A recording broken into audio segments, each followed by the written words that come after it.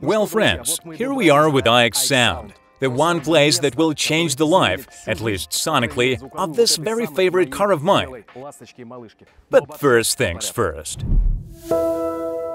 Boys or maybe girls, I'll explain it all to you now. Here's Arthur said without any further ado, who is now filming on the other side of the camera. Come here, Arthur. What I have in my trunk besides this stuff and a leather bag. These are the two speakers that are just called these cans. Speakers are put under your car. And this is the connection. Actually for the sound test, which we're gonna conduct today. And this will be connected to the system when I decide to put it in my car.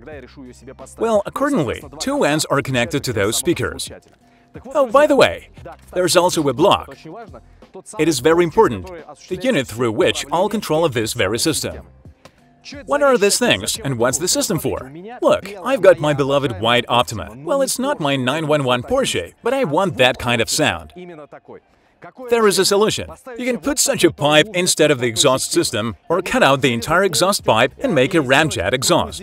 But why do it? Why get yourself in trouble?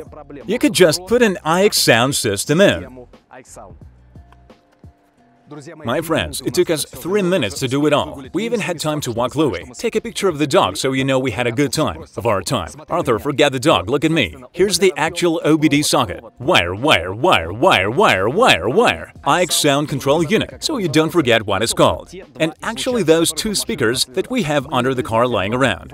We are not suggesting that you carry it around on a wire behind the car scaring pedestrians. No, just three minutes.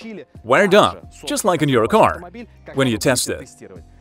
So, we've got Arthur's rich phone, our director, and it's already got the Porsche 911 Turbo preset on it. We press the on button. The sound comes on. Well, we're not gonna be modest, as they say. Let's give the dog a little parrot. Well, are you ready, Arthur?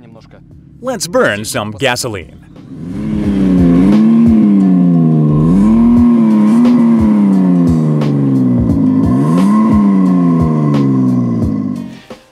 Now the facts, folks. In three minutes, you can get to know your car all over again, at least by ear. Come to any representative office in your country and listen to the sound of your car for free. Now I know. That's why I'm taking over the system. Arthur, finish up. I'm gonna roll up the wires and look for Louis.